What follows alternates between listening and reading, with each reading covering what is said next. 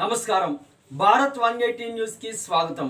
అంతర్వేది లక్ష్మీ నరసింహస్వామి రథం దగ్ధం చేయడాన్ని నిరసిస్తూ బీజేపీ జనసేన అధిష్టానం పిలుపు మేరకు తూర్పుగోదావరి జిల్లా పెదపూడి మండలం జి మామిడేడలో ఉదయం పది గంటల నుండి పదకొండు గంటల వరకు బీజేపీ జనసేన కార్యకర్తలు నిరసన దీక్ష చేపట్టారు.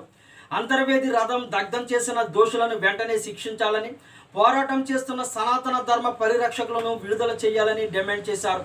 ఈ దీక్షలో అనపర్తి జనసేన నాయకులు ఆర్ నాగు బీజేపీ నియోజకవర్గ ఇన్ఛార్జ్ హరినాథ్ రెడ్డి బీజేపీ మండల అధ్యక్షులు కాకి వీర వెంకట సత్యనారాయణ కరేట్ల చక్రి జన సైనికులు ఎడ్లపల్లి కిరణ్ డేగల ఈశ్వర్ సంతోష్ చౌదరి మరియు బీజేపీ జనసేన కార్యకర్తలు పాల్గొన్నారు. శ్లోకం చెప్పండి. శ్లోకం. తమ్ముడు చెప్పు శ్లోకం చెప్పు.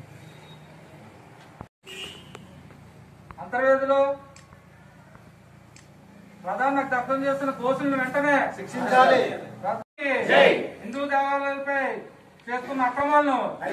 హిందూ దేవాలయాలపై చేస్తున్న అక్రమాలను. హిందూ చేసిన వారిని వెంటనే చేసిన వారిని వెంటనే భారత్ మాతాకి జై. భారత్ మాతాకి మన ఆంధ్ర రాష్ట్రంలో ఈ వైసీపీ ప్రభుత్వం అధికారంలోకి వచ్చాక మరి వరుసగా రాష్ట్ర వ్యాప్తంగా మరి హిందూ ధర్మం మీద హిందూ దేవాలయాల మీద హిందువుల యొక్క పవిత్రంగా భావించే రథాల మీద దాడి జరగడం నిజంగా చాలా బాధాకరం.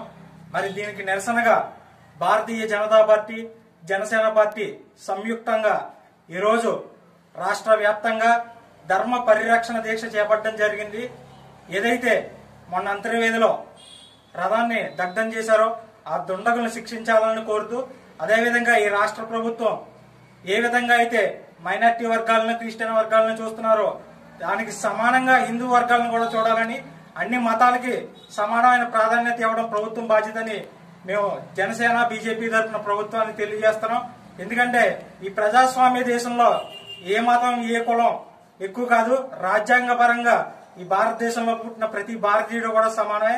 అదే సమాన దృష్టిని ప్రభుత్వాలు పాటించాలని హిందూ ధర్మ రక్షణకు ప్రభుత్వం ముందుకు రావాలని ఆలయాల ఆస్తులు కానించి రథాల వరకు మరి ప్రతి విషయంలోనూ కూడా అన్యాయం జరుగుతుంది.